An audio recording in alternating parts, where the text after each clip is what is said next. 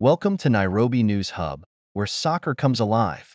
Join our expert analyst, Johnson Freeman, for electrifying match updates, transfer bombshells, and sharp football insights.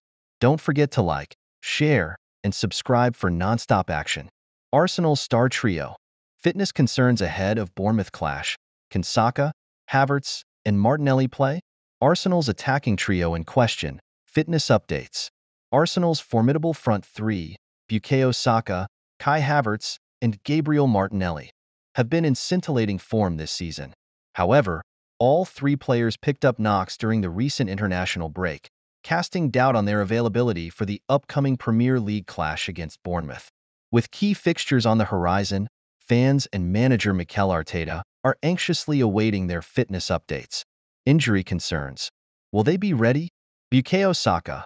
The England winger limped off during England's defeat to Greece with a hamstring issue. While Arteta remains hopeful, stating that Saka is evolving really well, his participation in Saturday's match remains uncertain. Kai Havertz. The German forward withdrew from international duty due to a knee issue but has shown signs of improvement. If he trains well before the match, Havertz could feature in the squad. Gabriel Martinelli. The Brazilian winger also missed Brazil's final game due to a calf injury.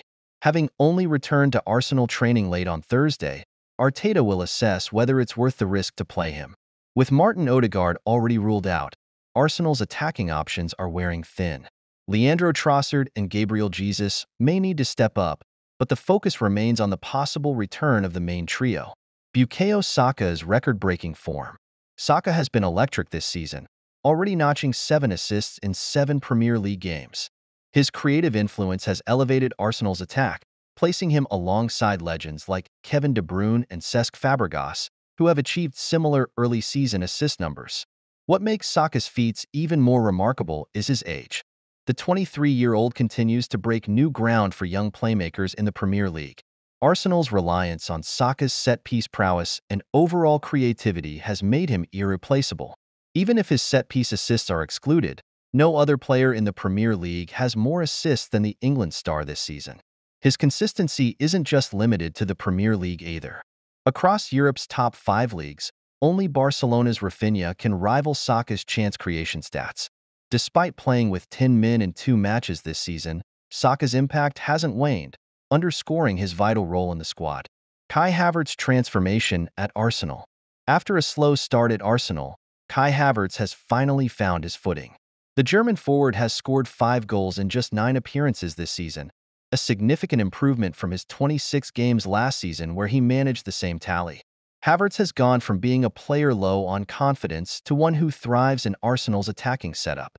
He is the only Arsenal player since Robin van Persie to score in seven consecutive home games, a feat that suggests his newfound consistency in front of goal. More than just his goal-scoring ability, Havertz's all-round contributions have impressed Mikel Arteta.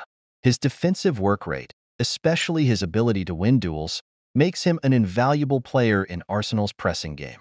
His involvement in 13 goals across his last 21 Premier League appearances demonstrates his growing importance in the team. Martinelli's resurgence, a new partnership on the left.